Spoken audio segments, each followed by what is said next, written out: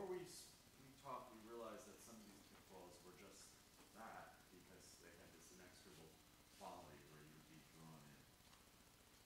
And so we had to think of some method of avoiding them, and of course, like we try to do, is, you know, we would go to our development staff and talk to our project managers and get a sense of what it was that, that they were doing, not that we don't off, you know, step in it ourselves every once in a while, right? But, um, with the experience that we have, we have experience of avoiding them. So we tried to distill what it was that helped us avoid them. And that's how we got this session. So, for those of you that are interested, uh, do a Google search or remember this really long URL uh, and download the ebook uh, that lists and describes these uh, pitfalls.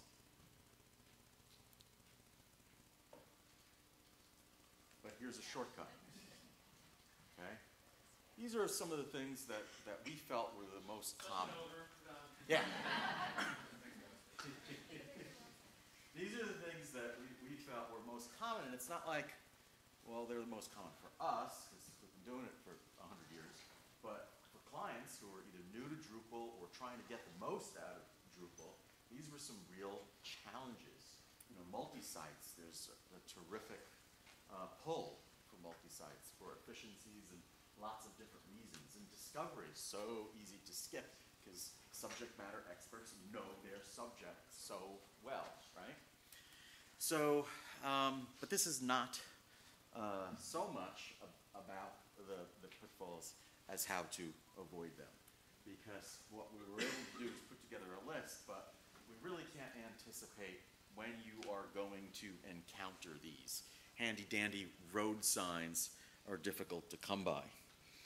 And, you know, we talked about these pitfalls specifically because of their inexorable quality, right? They have a way of sneaking up on us. Constraints prevent us from steering clear of them. Time, scope, budget uh, sometimes force us in our projects to take risks um, and pull us in closer than we really are comfortable uh, with, with being. Uh, so, what do we do? Um, what we figured out through our conversations with one another and uh, our staff is that uh, we needed and we usually employed early warning systems in our projects, and that uh, it, it, it our practice that had evolved over time. Early warning systems come in different shapes and sizes, but they are systems. Now, neither none of us have the luxury of having a fully functional character programmed in multiple technologies, as data was. But he he's still an early warning system, and he had certain sensitivities. His character uh, was written to have certain sensitivities that the next generation could rely upon to ward them away from danger before it got too catastrophic. Well, we don't have data. But we do have early warning systems. We've had them for a long time. Miners used to bring canaries into the coal mines to warn them of dangerous gases.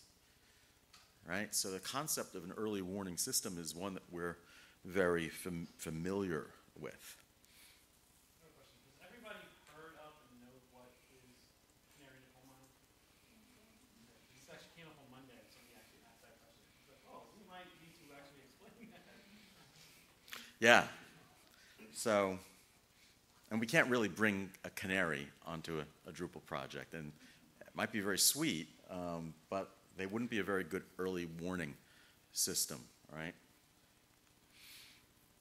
And we don't have this guy as much as we'd like him, right? So, what do we have? What's a com- more common uh, analogy or metaphor for an early warning system? Ever notice how your crash test dummies on television are always the most talkative? Right? And of course, they're getting banged around. And the purpose of a, cross, a crash test dummy is really to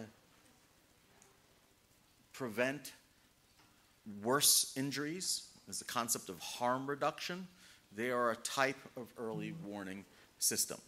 And they ask lots of questions, they're very talkative.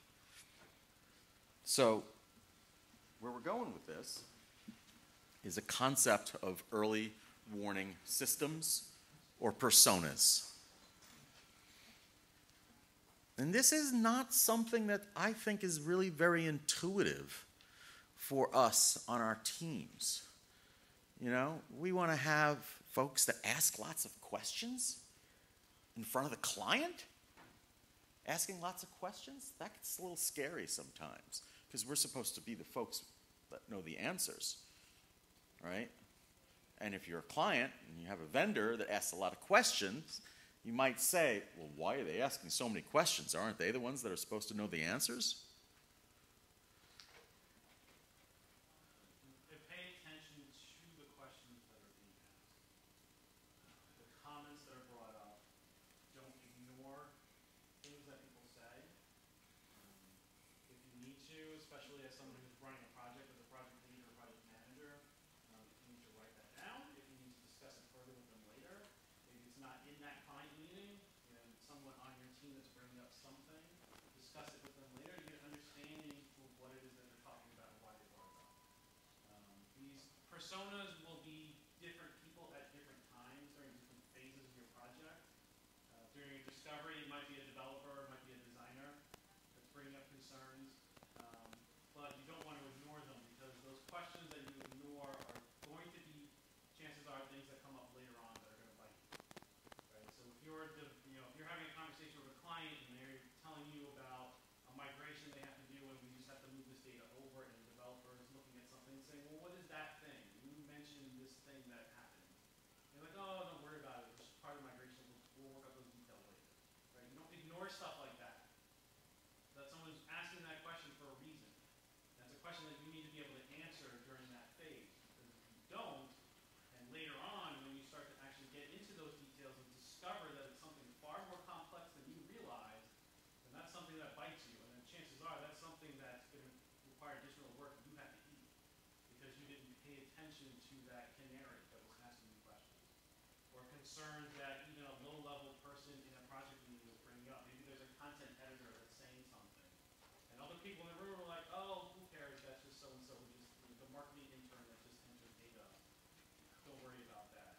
Well, maybe they're pointing out something related to the workflow and things that they actually do to input content, and it's something that you might want to address, and it might just be in a feature or some cha- slight change to the architecture and how they perform their workflow, or it's just giving you a, a, a, just a very small insight into maybe a problem that that person knows about that you might want to dive into deeper, right? But if they're asking these questions and they're pointing out these different things, don't ignore that stuff.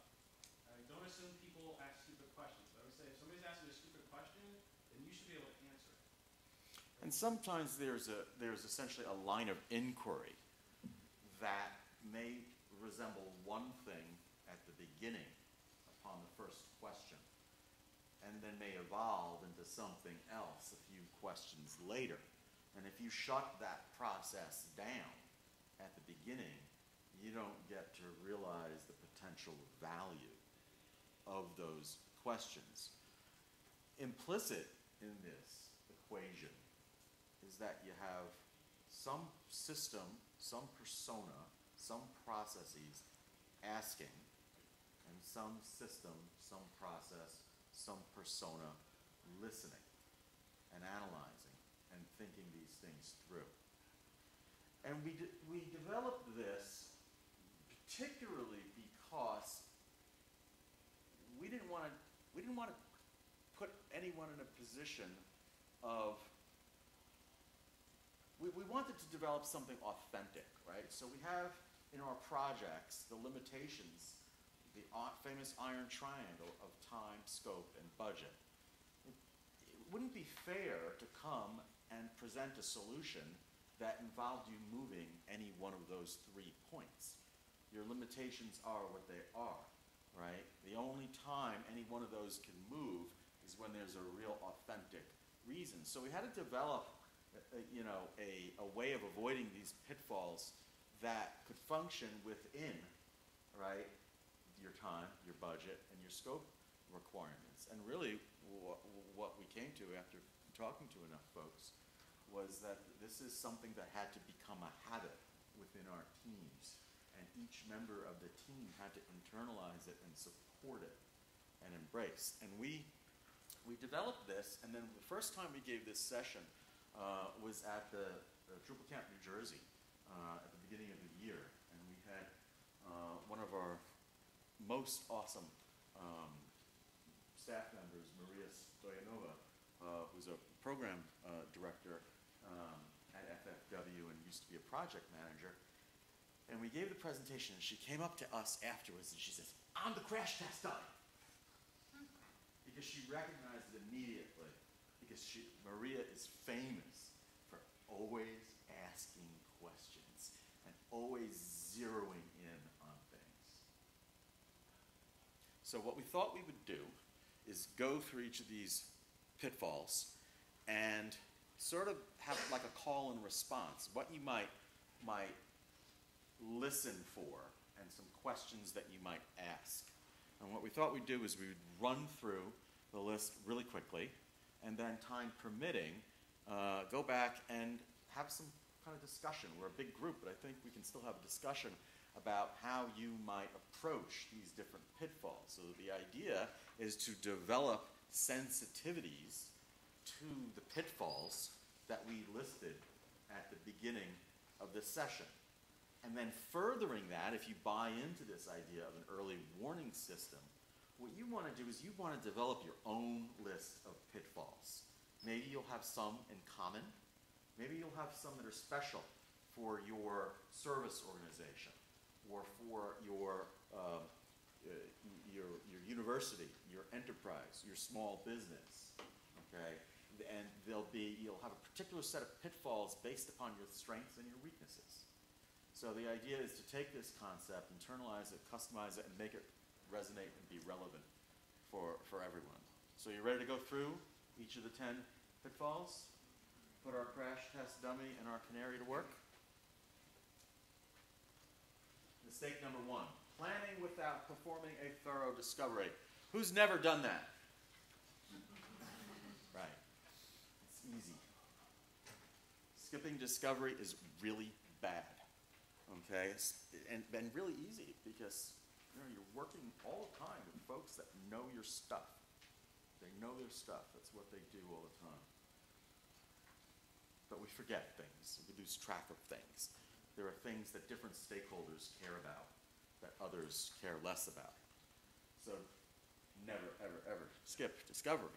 Your clients, they, they tend to know their systems, right, and their people, so they aren't always forthcoming about the information you need as a client, or, you know, as someone who might be building a site for them. You have to sometimes pry that information out, so that's why Discover has, has to be as thorough as possible, because you need to know all that hidden information that's not immediately there on the surface. And so everybody knows that discovery is so important. So everybody in this room is going to have a discovery on the next project. Fine, right? But you know you're headed for a pitfall if, when in the middle of that discovery, someone asks, Where is so and so? Shouldn't they be here? And then, of course, you've budgeted for three days or three weeks for discovery on site. You go home. Your time is up. Now what? Keep track of the fact that that key stakeholder wasn't around the table? It's an early warning sign. You're building a whole big marketing automation implementation system for some new site. But the marketing specialist who actually does all the work isn't there as part of the meeting, right? Why? Person that actually does all the work, that's involved in all the systems. But because at the meeting, someone decided only the top level people, you know, the business manager or the director needed to be there to actually sign the contracts and negotiate the deals and all that. But the person who actually does the work isn't there. Does that make sense? Never happened? Good, good. Neglecting the content audit, often a part of discovery, often um, bigger than the discovery itself, right? Depending upon the size and scope of the project. Who would ever ignore a content audit? No problem. We know what it can give us and how much trouble it can get us in if we don't pay attention. But know you're headed for a pitfall if. Okay. I thought that this might ring true for some folks, right? Well, what are you going to do with those PDFs? And how many of them are there? What, what's in them? And can it be structured? Do you want it to be a web page or do you want it to live forever as a PDF? I'm old school. The saying used to be free the bound periodicals. An issue important to you and me. PDFs, how do they live? Are they going to be searchable? What's going to happen? Who's going to break them down? Who's, who's going to do that work? Oh, just a couple of PDFs turns out to be thousands and thousands of pages. You have a really good one on this. This is like an entire session by itself. So feature creep, I think we all have a decent idea of what it is, but I think people sometimes get it wrong in the sense that they, they think about one particular thing and not another that's more important to me, which is we all we all understand the scope of work, and when a client comes to you and wants additions to that scope of work, and they'll say, oh well, I decided I, I wanted to also add this to that, and like, well, we already agreed on that. Now you're getting the feature. But that's not, to me, the most um, concerning feature creep. It's the one where you have not correctly communicated with the client to figure out exactly what it is that they are expecting for a particular feature. So you have a casual conversation, you, the client makes assumptions about what something's going to do, and you, as maybe a project manager or team lead, make assumptions about what this feature is going to do. And so you make requirements, you give them a developer, the developer builds exactly what you told them to build, and they send it back to the client for user acceptance testing, and then they look at it and go, oh, this wasn't exactly what I thought it was going to be. And now you're sitting there negotiating with the client, trying to fix it, trying to get them exactly what they wanted because you think you miscommunicated.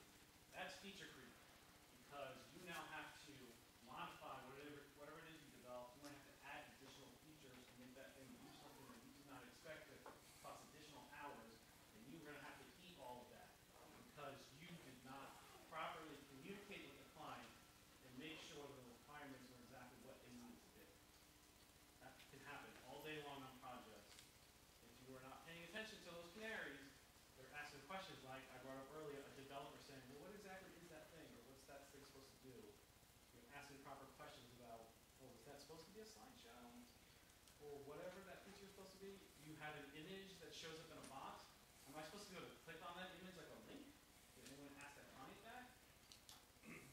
Because then when you send it back to them, and they look at it, and they try to click on the picture in that little box and that thing that was in the middle the page, and it doesn't click like a link, and, then, and just the text is a link, you're like, oh, now what do you have to go back through to redesign that whole thing just to make that image be a link? Is that gonna cost you an additional two hours, five hours, six hours, ten hours, in the entire development process, just to build that and deploy it? That's all gonna be time that you're gonna eat, and that is something I consider to be feature because you did not clearly define what the feature was supposed to be from the very beginning. And it's another example of feature creep, right? Is when either a member of your own team or the client is excited. This is good. We're all, we love to use Drupal and we love to talk about all the amazing things it can do. I, I was in business for years before I realized that I was responsible for half of the overages, right? Because I kept talking about how great it would be. Just So- this thing on this other website, can we just add that? All right. So the point is, somebody's listening out for this warning sign, and then someone's acting to qualify and ask questions about it. Maybe it's a legitimate feature that needs to be added to the scope or the backlog. But we never go into it without being very wary of what it can do to our scope, our, our other items on the scope, our budget, and our timeline. User stories. We can't talk enough about not defining user stories. And this is something where on simple sites, say, oh, it's a simple site. What do I need a user story for? Well, you need user stories for every level of your project, especially for the folks actually putting the content in. Your user experience always benefits from a clear set of user stories. That's probably the number one user story that people never add, is the content editing. And a warning sign might be, oh, you know, they're just gonna have to do that. Right? People are gonna get enlisted and volunteered for things, it's it's said good naturedly often enough. Right? So, you know, we're gonna run through these and then we wanna hear from you, you know, what might be some warning signs that you'd watch out for? What are some experiences that you've encountered? Do you think this early warning system is gonna work for you, or would you do something else? Skipping or skipping entirely testing? Everyone have proper QA processes, methodology? Who here has a, a, a- does, has uh, got six people on their QA team? How many people have one person on their QA team? Awesome. Right. How many people the developers the QA lead? Honest, honesty, that's what we need. Okay? Time, budget, scope pushes us into these conditions. We know it's a problem. We know it's not the best way to do things, okay? But we've got a long-standing client and they need some help. Is it going to be a case of no good deed goes unpunished? Okay? Or are we going to be able to avoid the worst of these problems? So sometimes you can't steer clear of these pitfalls completely, but that's how we have the concept of harm reduction, right? I'll take a broken leg, please. I don't want a broken head.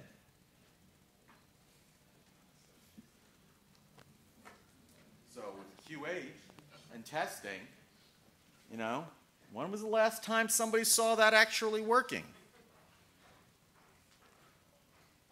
And this is a pretty common thing. You know, a lot of us are working in agile environments and we're sprinting and we're iterating. Well, when was the last time that thing that we sprinted on three sprints ago worked? That's why we have. Your latest commit broke X, Y, Z. It was working yesterday. I proved it. Proved it that it was working yesterday. Maybe it broke six months ago.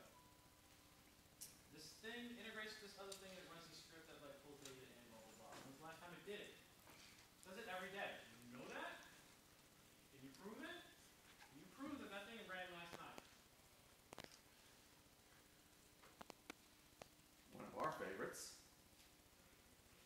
Oh, we forgot the budget. Budget not enough for project management. Oh, there was a change order. Oh, did we change the project management budget? What percentage of our, our development time is project management? How's it gonna change? Is it gonna be part of discovery, not part of discovery, PR, part of creative, part of strategy?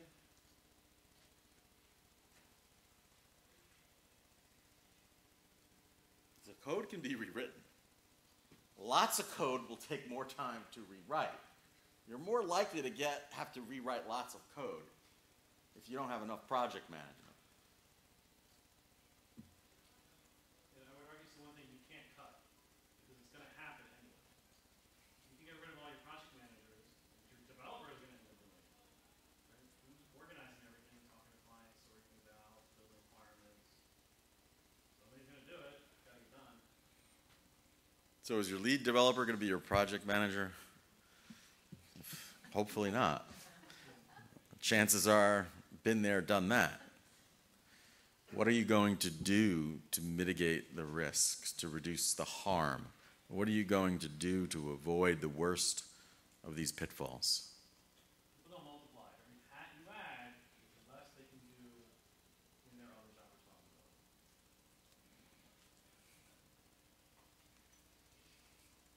How many folks have worked uh, or dreamt of working, dream or nightmare uh, of a, with uh, multi-sites?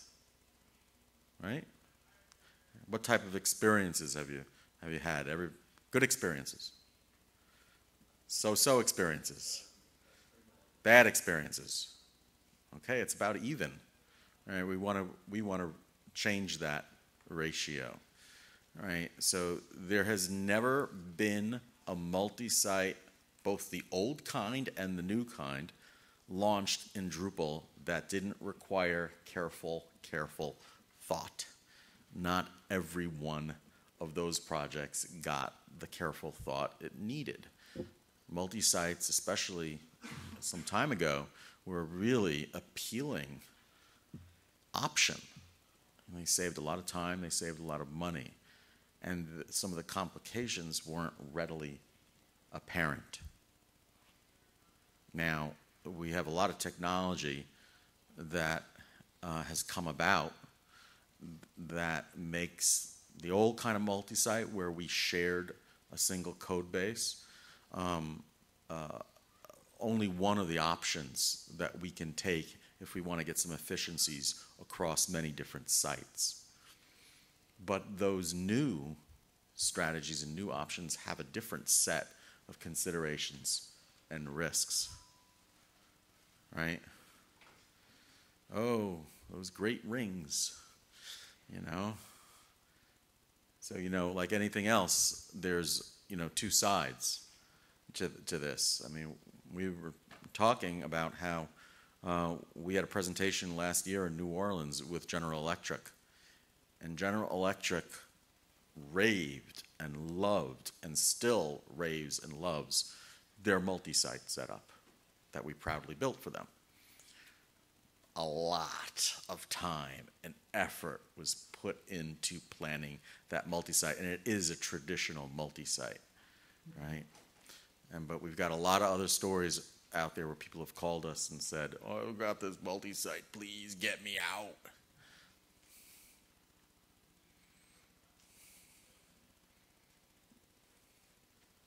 Skipping the specialists. How many people have a webmaster on their staff? How many people have advertised for a webmaster recently, hired one? Seen any unicorns walking around? There are. But web webmaster, webmeister used to be ubiquitous when the web was a very simple place. It's not a simple place anymore. There's so many different technologies. How often have you worked with organizations that have said, "Yeah, we're trying to decide whether or not to hire one person who really knows everything or a firm that has lots of different people. And I'm like, oh, okay. Let me know how that goes. Right? So there's a tendency to really not, not em- embrace and understand that everything is a specialty. And yeah, we do have awesome full stack developers but we need our specialists because the world, the, the world, the web, the internet is just too big and too specialized. So, warning sign. Why can't David just do it? He's a full stack, awesome Drupal contributor developer, been at it for many years.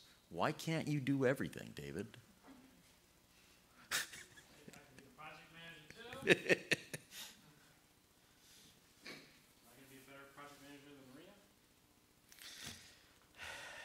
Depends on what else we have you doing. so I'm sorry these are a little difficult to read. Right? Neglecting to plan for continuous development policies, tools, and workflows. So you just have to build a site, right? That's all you're doing. You you're going to deliver the site and then it's over, right? Not so much. Right?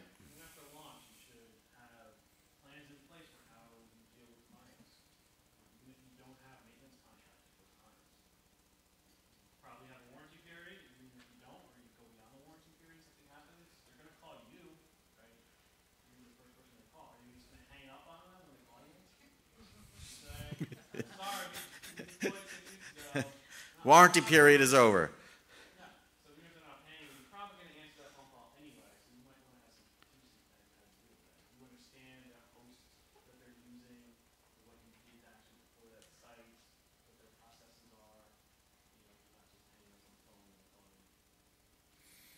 and. And this is the typical, you know, thing we hear. And it, it happens just as often, we hear it just as often from the client as anybody else, right?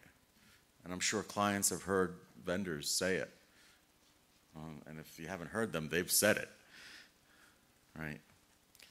So, in all these things, you're listening out and you're asking questions to qualify these things. So, if you're in a project and there's a crunch, okay, and you've got, you're uh, sprinting literally to the finish line, you've still got to have this discussion in order to avoid the worst of your problems.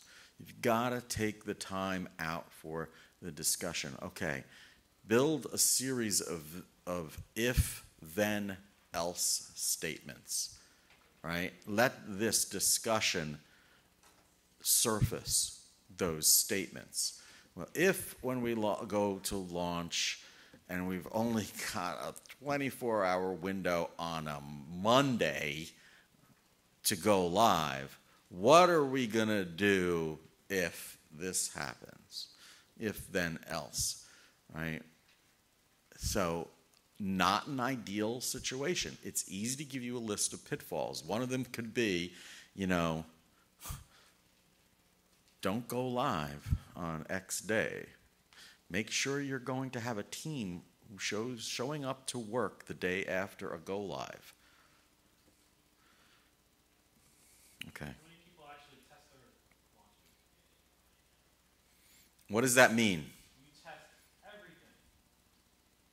You tested Well, you test most things. You test the hosting provider? You test all the integrations, the switch from that dev integration for the live one with that third-party service that you use?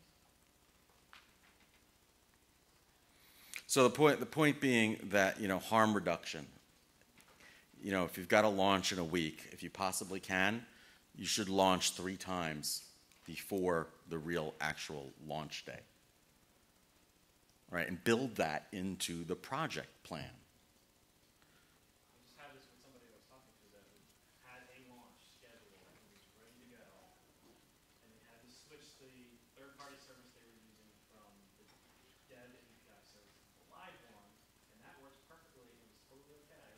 And they didn't realize that when they did that, they had to get approval from the third-party vendor, and it was a five-day waiting period for that. And their launch was the next day. Good luck with that. Call them on the phone, I'm sure they'll rush right to your aid and approve you faster than anybody else just because you asked nice. So, and finally, not engaging with the awesome Drupal community. So you guys are light years ahead of the curve because you're here uh, and you're talking to, to, to one another. But a lot of folks are not, and and you know you might have some developers that are lone wolves and they're really great and smart and out there, and they may not be that comfortable talking on anything other than IRC. But there are some things that need to happen face to face, and if not at a big con, then at a local meetup. Your clients, in particular, right? and it's to your benefit the more your client knows. So what what we just take as gospel is that liaising and joining up with the community accelerates everything. It greases everything, uh, and it really accelerates your your project toward success uh, in so many different ways. So. Um, I've probably learned more from my local meetups and camps than at DrupalCon or from Googling and watching YouTube videos or anything else. Just being able to face to face, asking questions, getting help, giving help back to others. You know, this is, this is why we have the community that we have, that's so large, everybody in it is so engaged and so willing to help each other. Uh, It will accelerate your development in your career path. And so remember, you're you're out there and you're sniffing. You're establishing this mentality in your in your team of an early warning system. And if you find that your client um, you know, you've been talking to them for a couple of months now. They should be pretty enthusiastic about learning Drupal and meeting other people in the, in the community because it's part of the value equation.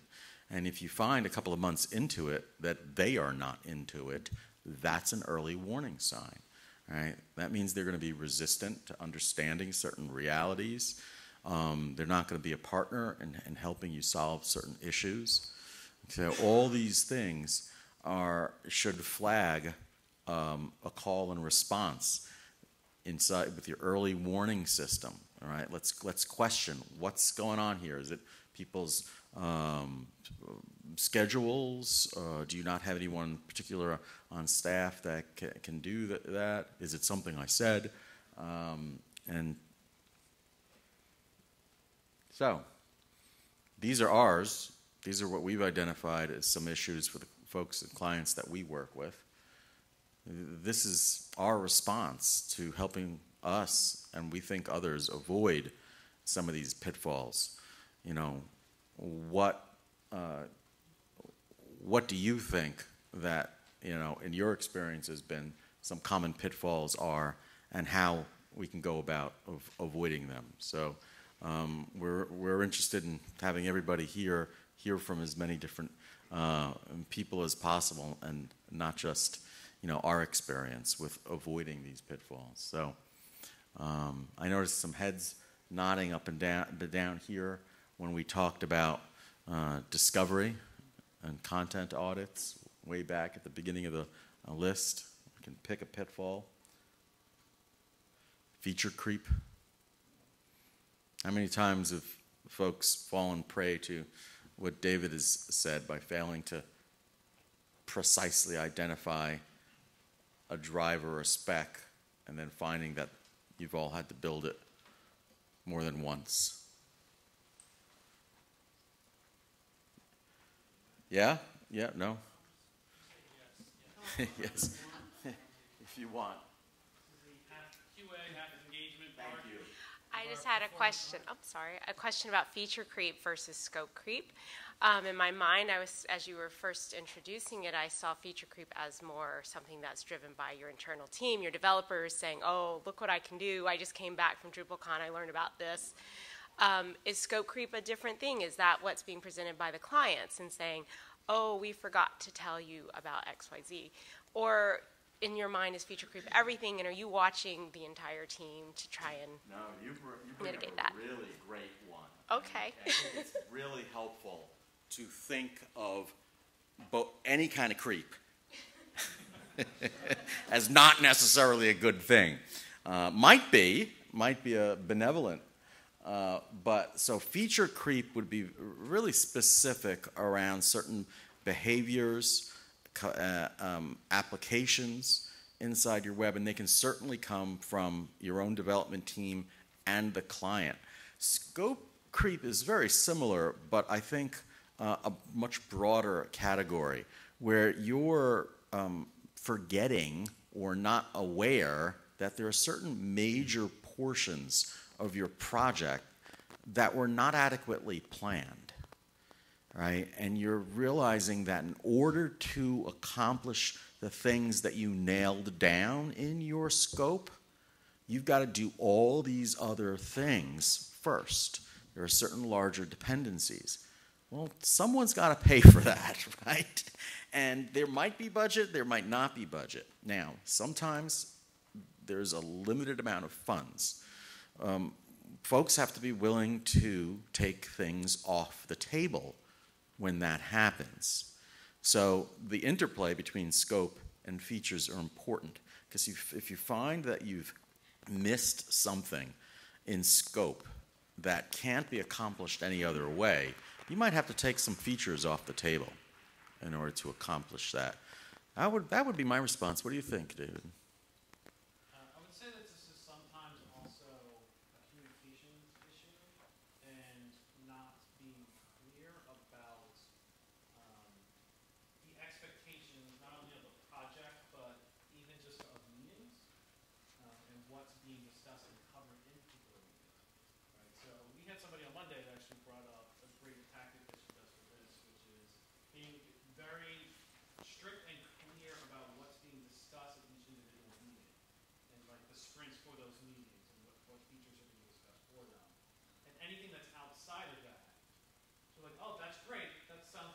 individual thing that we wanna talk about, not in the scope of this Backlog. meeting, that goes in the backlog. If it never comes back out of the backlog, then maybe it's not a priority, right? Or maybe it's something that gets added to a future meeting, but maybe depending on the project or what you're doing, there's a new statement of work for that, and something to be discussed. But being very clear about the expectations for each individual meeting, um, should help you sort of keep that process. Yeah. Thank you. Yeah, kind of following on with that, I think I would add to your list there, um, one of your, your warnings is not having a clear enough or defined scope, because th- those are the problems that we, we've seen in the past that you run into where, you know, we talked a lot about a lot of cool ideas. They didn't talk about some things that they actually need but never mentioned. And then we thought it, you know, of a bunch of things that, you know, maybe that they didn't need, but we had it anyway. Um, one of the things we found to control that is that we do at the start of the project write a really like painfully nauseatingly detailed scope.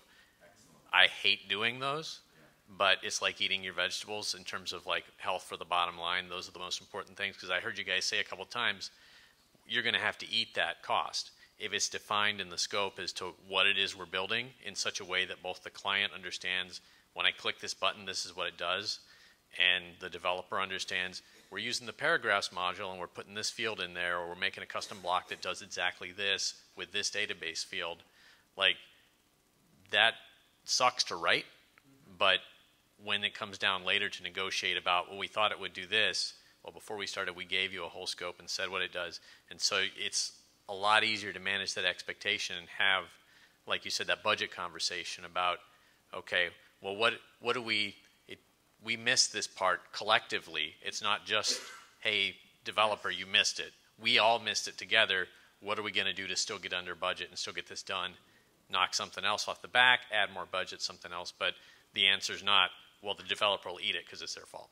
Yeah, So- I think that's, that's, so, that's a very real statement. And I would ask, ask you, when, because this came up, actually up, um, yesterday, we did a full day training on project management. And Maria was part of our, our team with David and, and- and I. And, uh, as we are wont to di- do, we added a slide last minute. Maria said, I wanna ask a slide, when is done, done? And he said, huh? When is done something really done? And we're like, oh, okay, now we get it. How do you find, define done? So I would say, how do you define, you know, your scope? When do you know your scope is done? When do you know it's complete? And I think that, I think, that, Acceptance criteria, say again? acceptance criteria. acceptance criteria. But again, suppose the folks that you're working with don't have a clear vision for just how precise the scope should be. Right? So there, there, there needs to be these habits of mind, and we've given one example of it in order to avoid pitfalls. But your teams need be so adept, not just technically, but at communication and of this process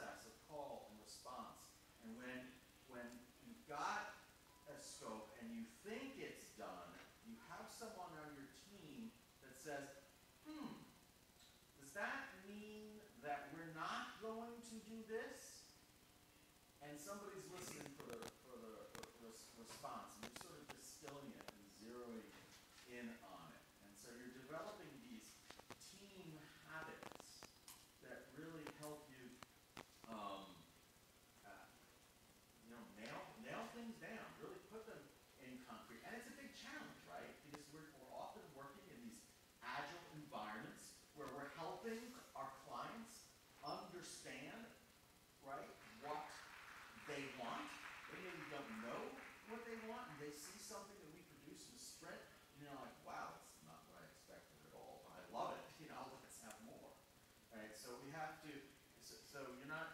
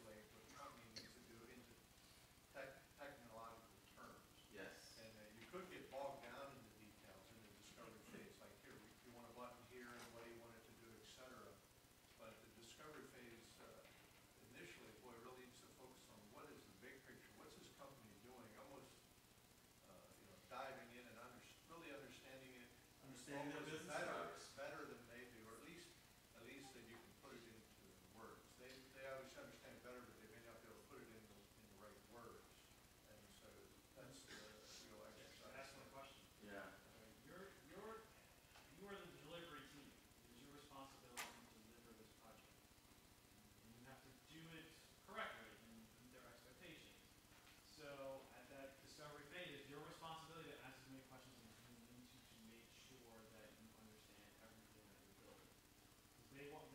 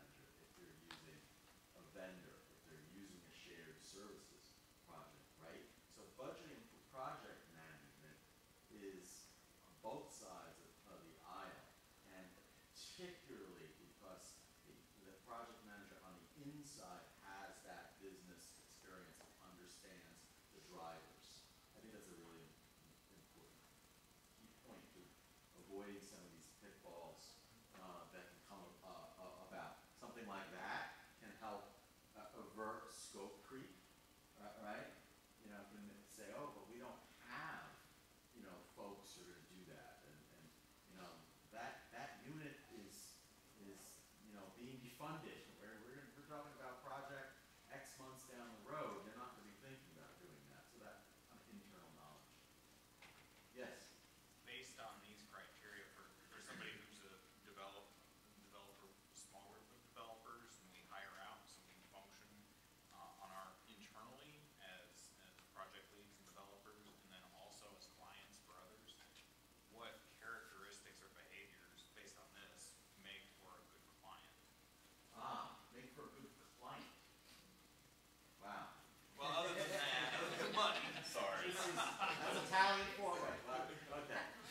say that one time. All right. So.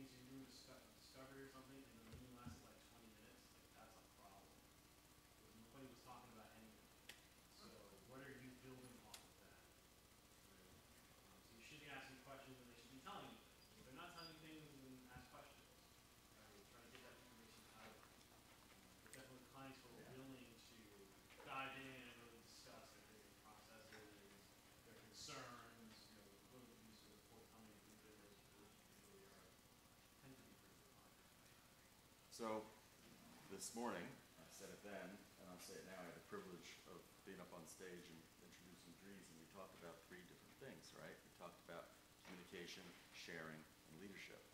And I think when you're engaging with clients, you know, those three things are really important, right? So we talk about communication all the time. But like David says, what does that mean? Does that mean that your, your partner is volunteering information, that they are sharing willingly information that they may or may not expect to be helpful, right? But since they don't know your business, they're willingly sharing it because it might be relevant. Right? That is a habit of mind. That is a cultural issue with, with organizations. And that's not always something that is, is present in every organization. If you, and if you can tease that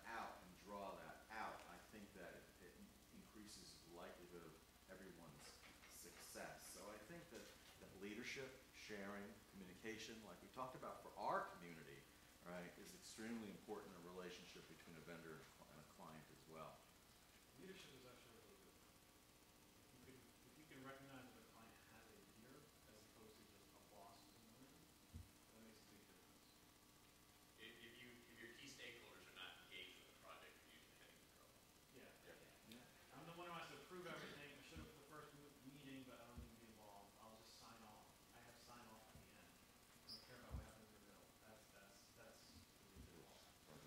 go up. And we, um, in our project management class, we talk about doing RACIs clients Like, okay, who's responsible?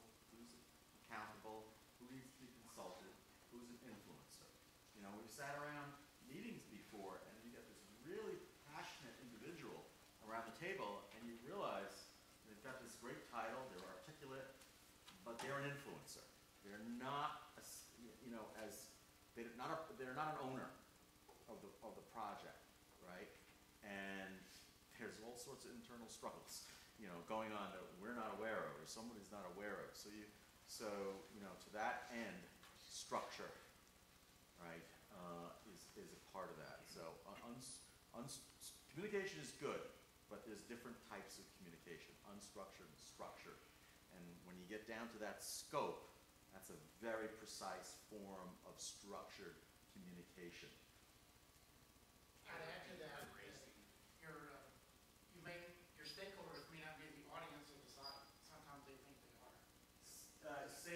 stakeholders.